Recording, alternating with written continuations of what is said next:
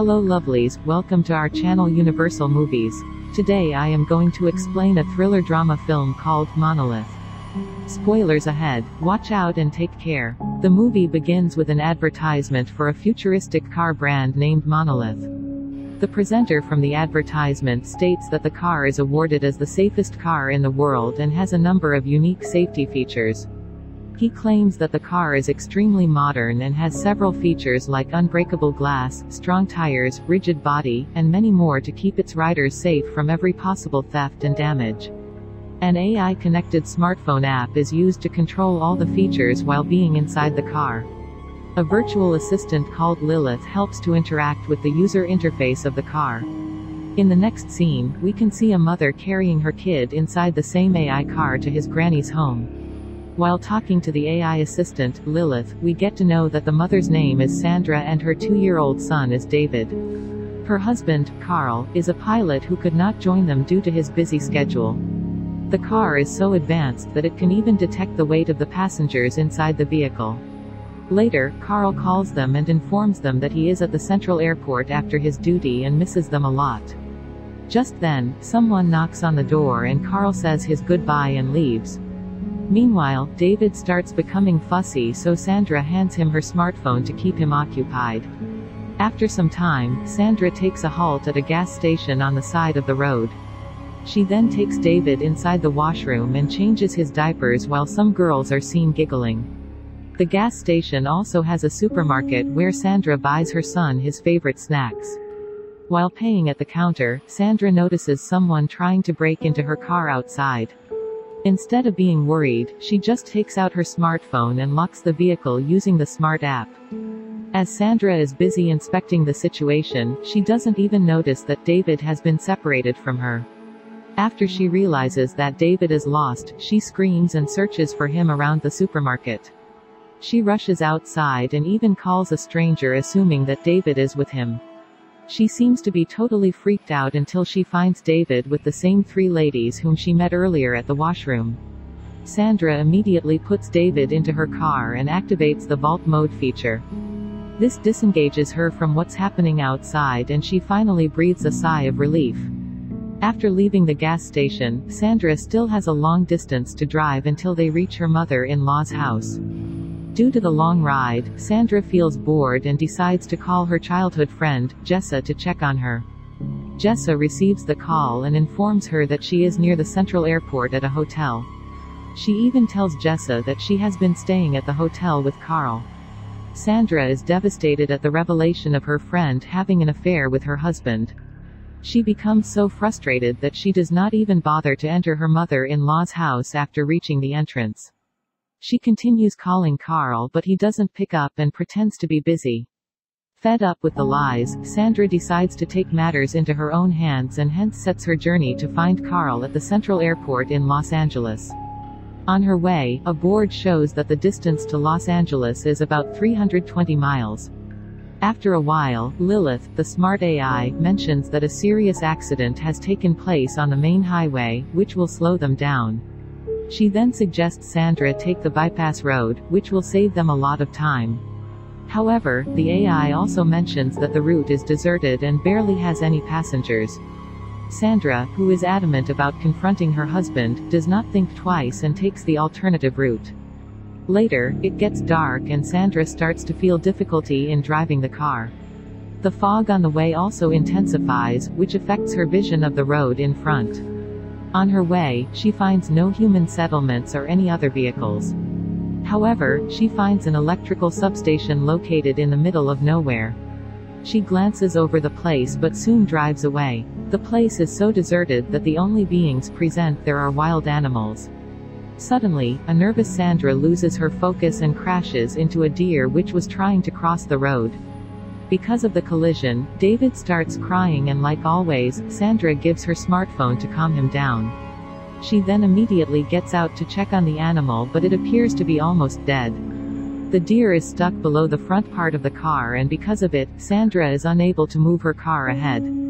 As Sandra is trying to figure out the situation, she forgets that she has left David alone in the car. Meanwhile, as David is playing with the cell phone, he accidentally opens the AI car app. He moves his finger around the opened app and without Sandra's notice, activates the vault feature of the car.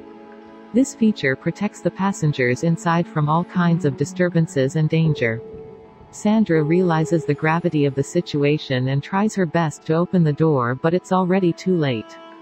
As Sandra is locked outside the car, she tries her best to make the two-year-old David switch off the vault mode but he doesn't understand a word and simply keeps on playing with the phone. Later, Sandra panics and starts shouting at the little kid, which startles him, and he drops the smartphone under his seat. Here, Sandra gets to know that the Monolith car's features are not just an advertisement but it also performs in reality.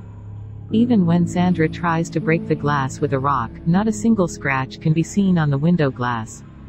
Seeing all her efforts go in vain, Sandra decides to seek other options. She begins walking back to the electrical substation which she noticed before. After some walking, she reaches the station, jumps over the fence, and cries out for help. However, she gets no response and the station seems to be empty with no workers present at the moment. After this, Sandra enters one of the rooms and finds some necessary items inside. She takes a flashlight to use at night and a big wrench to help her break the glass of the locked car. Just as she leaves the substation, she notices a wild animal following her. As Sandra rushes back, a coyote attacks her so she climbs onto the roof of the car. Despite her best efforts to scare off the animal, it remains unfazed. In a last-ditch attempt, Sandra starts banging the car with the wrench, and an alarm starts blaring, which finally makes the coyote retreat. Just then, Sandra notices David having difficulties in breathing. Despite the situation, she manages to calm David and he finally starts breathing and soon falls asleep. After a bit of thinking, Sandra too becomes tired and falls asleep on the bonnet of the car. The next day, Sandra wakes up when the sun is already bright. She then immediately rushes to check David's condition inside the car. She finds David weak and feeble because of his hungry stomach and dehydration. One of the features of the car also displays the temperature of the surroundings which appears to be increasing slowly. The condition is a curse to Sandra as the place is completely isolated with no humans around. Sandra then decides to seek help and follows the road. Despite being severely dehydrated, she proceeds to walk the long journey. She also knows the risks of leaving David alone in the overheated car but she has no choice but to seek help. Fortunately, she comes across a river where she drinks and cleans herself. After gaining some respite, she continues her journey and encounters steep hills along the path. After walking several miles, Sandra finally comes across an old airfield, where she discovers a jet. Meanwhile, the temperature inside the monolith car rises up, causing it to instantly start the emergency cooling fan. After reaching the abandoned jet, Sandra enters inside and discovers some alcoholic drinks, a gallon of gasoline, a lighter and a pair of spare airplane tires. She consumes some alcohol and immediately gathers the necessary items. After that, Sandra uses the gasoline to burn the two tires, in hopes of attracting help. She then takes the gallon and fills it with the river water. Slowly, Sandra walks back to the place where she left David. In the next scene, Sandra hurries to the car and finds David all weak and turning red. She tries calling him out, but David does not answer or move. The temperature inside the car has increased significantly and the emergency cooling fans have become ineffective.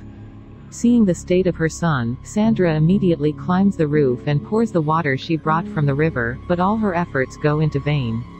Thinking that her child will have to die inside the high-tech vehicle, she again starts to hit the car window with the wrench but it just wastes her energy.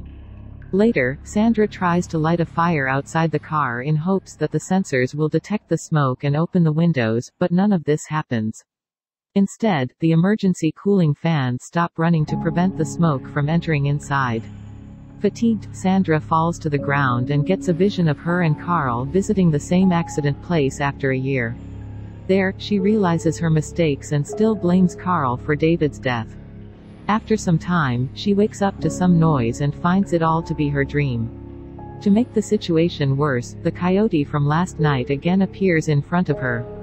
Sandra decides to hide from it and tries to climb on the roof of the car. But as the car's temperature is extremely high, she can't stay there and instead slides below the car. There, the coyote bites her leg and this is when Sandra realizes that it is the deer that the coyote is after. As soon as the coyote drags the deer out, the car starts rolling backward. The deer was the reason which had held the car in the position. Sandra immediately gets out from under the car and tries to stop it from sliding backward. Despite her best efforts, the car still continues to roll backward, edging closer to a fall. However, a small chunk of rock obstructs the car and it finally stops. As Sandra stares from the cliff, she remembers the cartoon she saw earlier at the gas station, where the diamond was obtained after the safe was broken. She then thinks of pushing the car down to unlock the doors. Sandra is well aware of the fact that her plans might have consequences but she is left with no other choice and decides to go with it. She grabs the wrench and starts breaking the rock which was obstructing the tire. After successfully removing the rock, Sandra purposely pushes the car down the cliff with David still inside the car. As the car is thrown in the air, its inbuilt AI starts to function and immediately realizes that the car is falling from a height. The features of the car get to work and shift its balance, studying the gravitational pressure to fall upright, without causing any harm to David.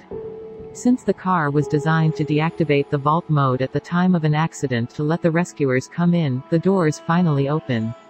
As soon as the car strikes the ground, Sandra climbs down the cliff and approaches the car. Despite the devastating fall, the car appears as if someone just placed it there.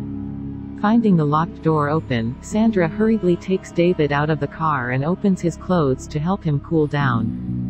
Seeing David's weak health condition, Sandra resolves to get out of the place as soon as possible.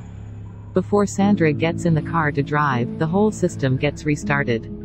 With the help of Lilith, Sandra sets the car into extreme off-road mode and starts climbing the cliff in front of her. The car appears to be made for very extreme conditions and easily gets past the steep cliff. Miraculously, Sandra reaches the off-road she chose and heads towards the hospital. In the last scene of the movie, we see Sandra and David arriving at the hospital. David is kept on the hospital bed beside Sandra and is connected with multiple tubes.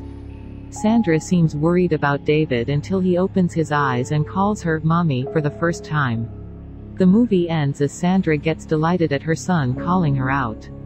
Subscribe for more videos like this, turn on the notification, and leave a like to help the channel out. Thank you for watching.